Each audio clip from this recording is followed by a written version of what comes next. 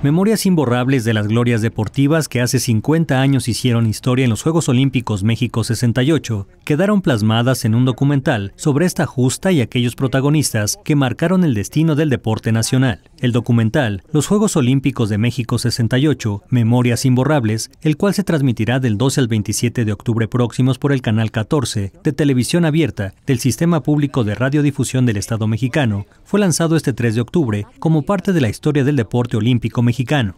Legendarias estrellas deportivas de esa época presenciaron el especial. Recuerdos y anécdotas volvieron a la luz. Los boxeadores Agustín Zaragoza y Joaquín Rocha fueron los únicos medallistas presentes. También asistió Mercedes Román, aquella atleta mexicana que logró trascender en las pruebas de velocidad, además del profesor Nelson Vargas, quien fue parte del trabajo que llevó a Felipe Muñoz Capamas a la medalla de oro olímpica en natación, hasta el momento la única para esa disciplina.